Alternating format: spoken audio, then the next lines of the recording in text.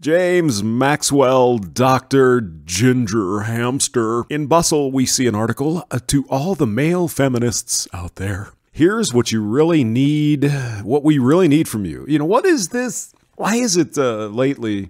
Uh, perhaps it's the Me Too campaign or, or, what have you, but it's like, oh, this is what we need from men. I didn't think feminists needed anything from men. Fishes and bicycles and that kind of shit. But everywhere you look is another article. Oh, here's what we really need from you, you male feminists. Um, I would say what you need from male feminists here, Lauren, the authoress of the article is that they keep your their their hands off of women. Uh, you may have noticed in the Me Too that um, except for a couple of high profile Republican conservative types. Uh, Bill O'Reilly and this Roy Moore character, maybe Garrison Keillor, though I think Garrison's pretty much a liberal as well. The rest of them are all radical male feminist types. And when one, as in Matt Damon, as in Matt said, a grab on the ass isn't the same as rape, so we can't conflate the two, you want to go out and ruin his career as a male feminist. You don't want him in the movies anymore because he pointed out the obvious reality of things on the ground. So, what does Lauren have to say? This year, male feminists cropped up everywhere in t shirts and Facebook posts. Really? Everywhere?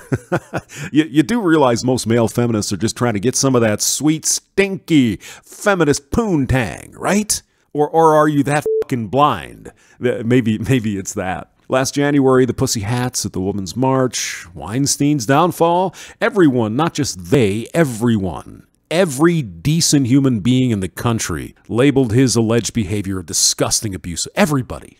Everybody. Going into 2018, however, there's still a lot of work to do. You, you, often hear that too. Well, you know, we've made a lot of progress, but there's still a lot of work to do. Really? Like what? Exactly. Let's find out. Let's see what Lauren has to say. A lot of work to do around women's issues, so male feminists should note what women actually need from them. I didn't think women needed men at all. yes, of reasons and stuff. Celebrity male feminists have become a kind of societal barometer for what other men should or shouldn't do, really. Uh, Matt Damon included. Is that uh, is that we should we should point out the reality and facts and, and such? But putting on a woke t shirt, sure sign of someone who has a small pair of balls, does not a real feminist make.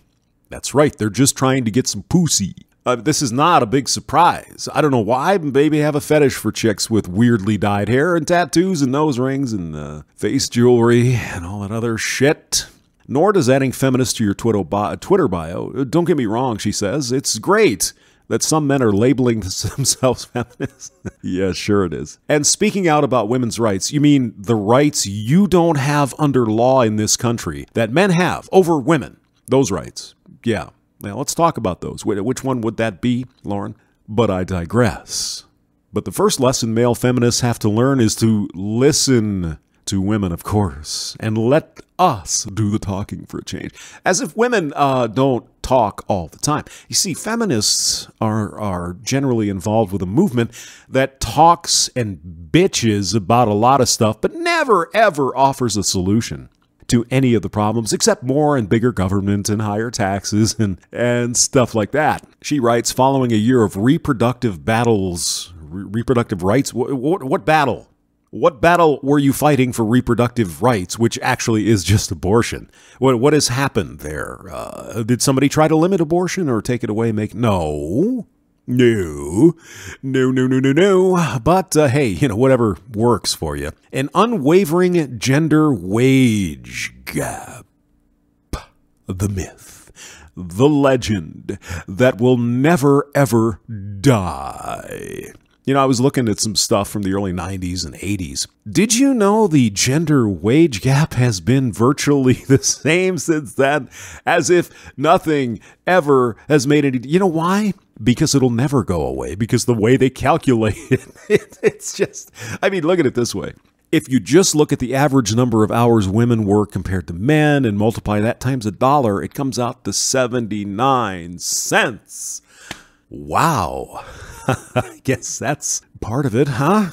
And let's see, constant sexual harassment and, allega- and assault allegations. 20 allegations. I'm glad she at least put that. 2018 certainly won't be a breeze for women's issues. It never is. It never will. You'll never be satisfied. it'll just never go away. So, here are a few suggestions for you, male feminists uh, who genuinely want to make the world a safer place for women. Number one, stop interrupting women, you evil men. Avril Limon says, I met a man recently who wanted advice on launching women's leadership programs. He interrupted me halfway through any sentence I uttered even after I told him being talked over was a key reason women left jobs, right? Because women are strong and powerful. You go, girl.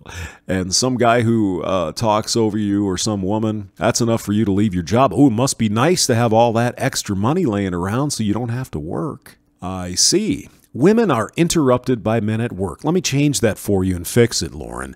People are interrupted by people at work, at the bar, at dinner parties, pretty much in any scenario that involves talking. Correcto. It's a human problem.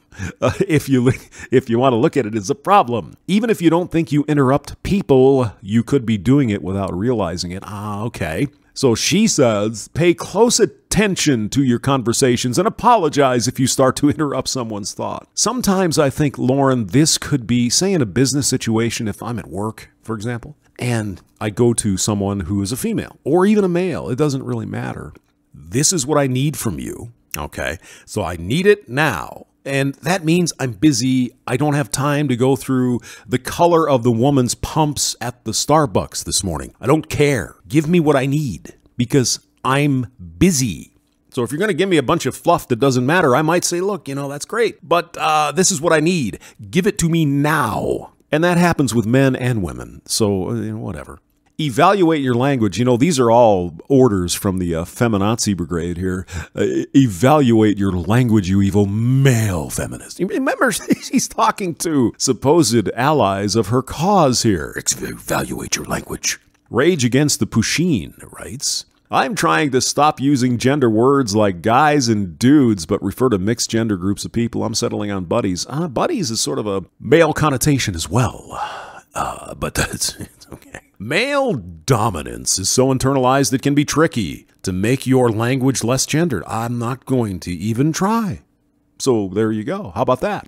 I sometimes catch myself saying someone is bitching about a problem and then remind myself internally that a word used to describe women shouldn't be synonymous with complaining. But oh my God, it is, isn't it? I wonder why. There's usually a kernel of something truth in the stereotype, if you know what I mean.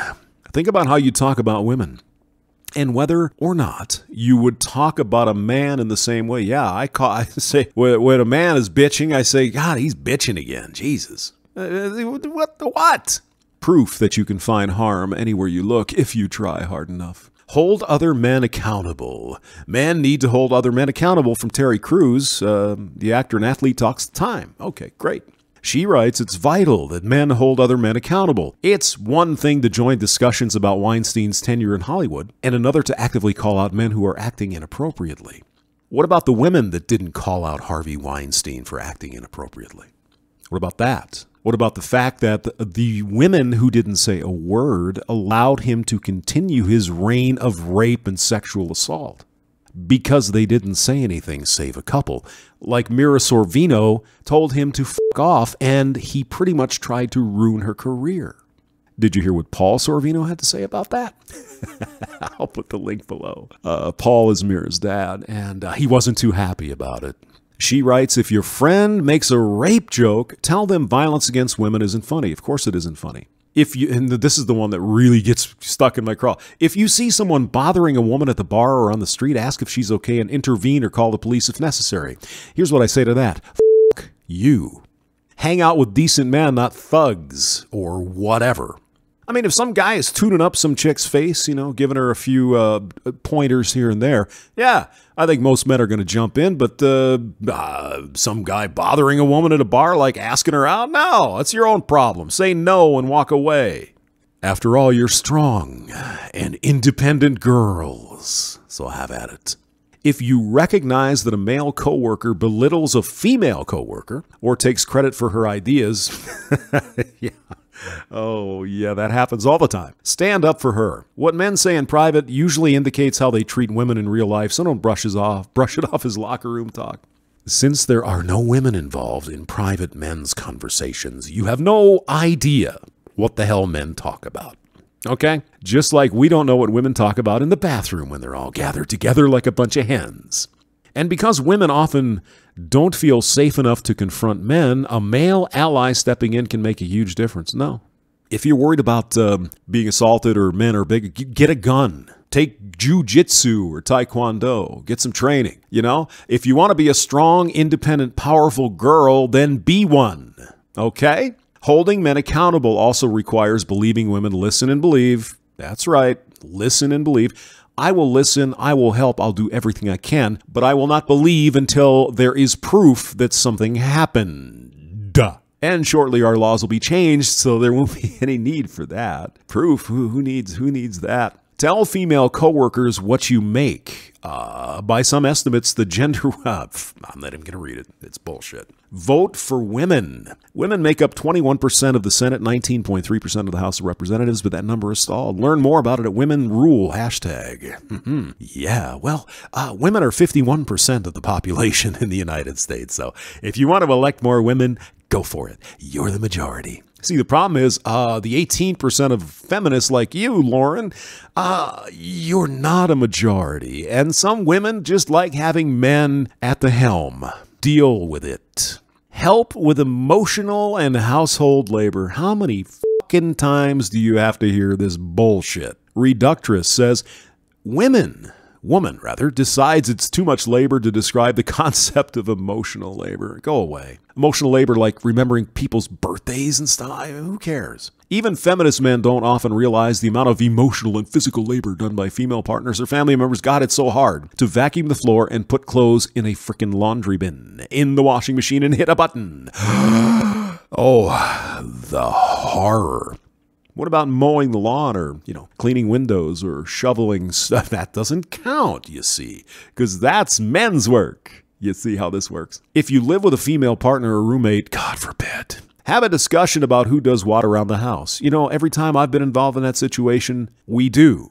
So I don't know what you're talking about. And most importantly, make sure the division of labor is equal and the tasks aren't divided by gender stereotypes. Well, they are, because most women don't want to go out and mow the lawn or shovel snow, and men do it because we have to.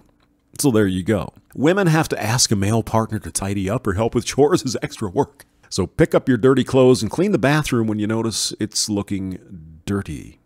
I do, and I did, so I guess I'm okay. If you don't live with women, keep in mind that the same dynamics exist when you go home or see family. Cooking and cleaning after a family dinner shouldn't be left to the women while the men watch TV in the other room. Um, I've been in these situations and I've offered to do the dishes or clean up or help with whatever, and they just, oh, just we'll take care of it. And then the women get in the kitchen and they do their little hand talk, and, and the men watch football. I've tried. I've, I've tried. Okay. Uh, performative male feminism accomplishes nothing. So check your privilege at the door and help women in tangible ways. Going into 2018, again, I do not understand why men need to help the all powerful, all strong, all independent, you go girl woman of 2018, the current year. I don't understand it. James Maxwell, thanks for listening.